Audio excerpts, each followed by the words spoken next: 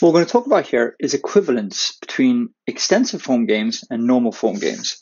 And so going from an extensive form game to a normal form game, as I'll do after I've had this little discussion, is always possible. It is always possible to get a normal form game from an extensive form game. And that's fantastic because that means anything we can represent as an extensive form game, we can also represent as a normal form game.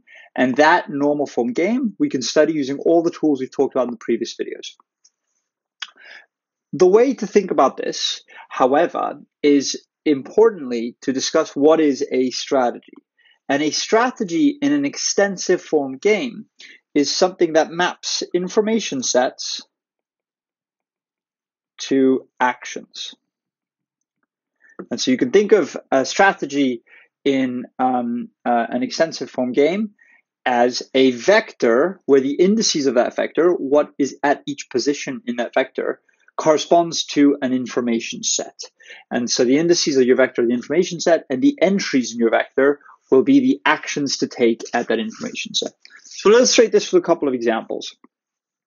Um, and so the um, the full set of strategies available to Alice in in this game here are to either pick sports at uh, the single uh, information set that Alice has, or to pick comedy. Now, these are the only information sets that exist. There's only one information set, and every information set has um, has two actions, and so there are two strategies available to uh, Alice, which are to at A pick sports or at A pick comedy. Notice how I'm saying at A do something. That's a mapping from an information set to an action. And once we've done this, what we can do is say, well, this is going to be our new action set. So this is going to be the action set for Alice, is the strategy that always picks sports or the strategy that always picks comedy.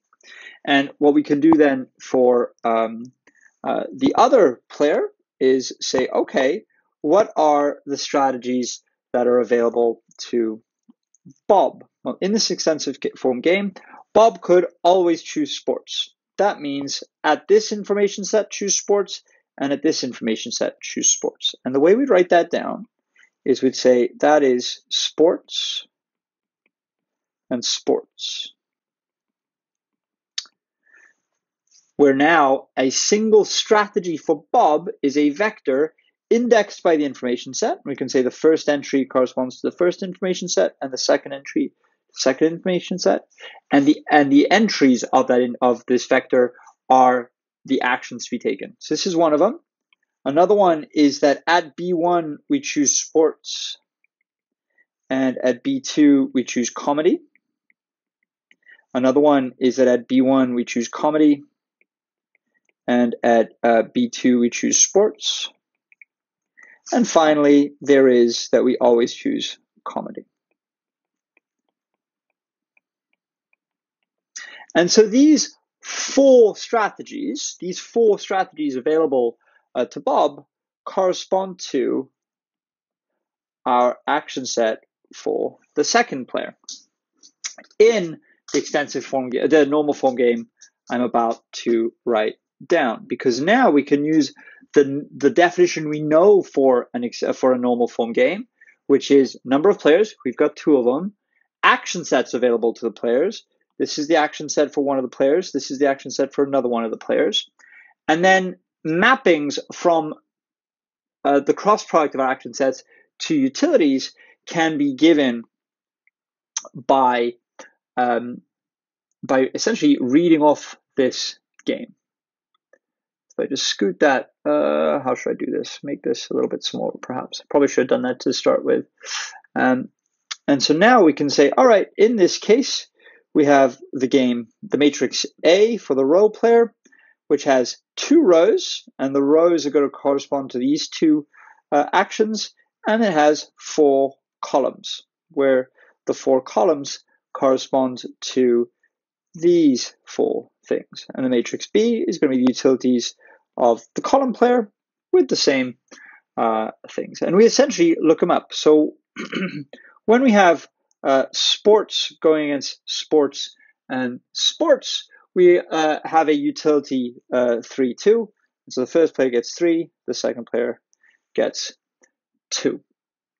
And we can just go through and realize that we're going to have a few repeats uh, 3 2, 1 1, 1 1, 1 1. Whereas, for example, this entry here corresponds to the whole first row, I should say. The whole first row corresponds to the first player choosing sports. Uh, and the fourth column corresponds to the second player choosing comedy. And indeed, both players get one. And then the other entries will be um, 0, 2, 0, 2, and 0, 3, 0, 3. And from this point on, we can use everything we've done to study this quite well defined and compact form that corresponds to the extensive form game. And now if we take a look at this second game, so let me just uh, tidy up things a little bit here. If we take a look at the second game, we have the same action sets for uh, player one, which are they always choose sports or they always choose comedy. But now our strategies for player two, for Bob, for, for Bob are going to actually be a bit simpler because we have a single information set that contains B1 and B2.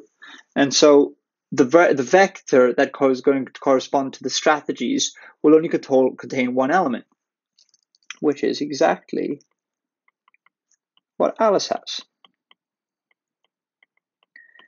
And so the strategies are for Bob, when you're in this information set, choose sports, or when you're in this information set, choose comedy. Bob does not know the difference. Oh, sorry, I realize I'm slightly off the page there.